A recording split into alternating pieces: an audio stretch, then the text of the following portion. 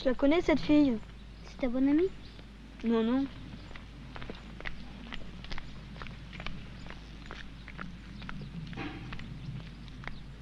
Je l'avais déjà vue. J'avais parlé avec elle.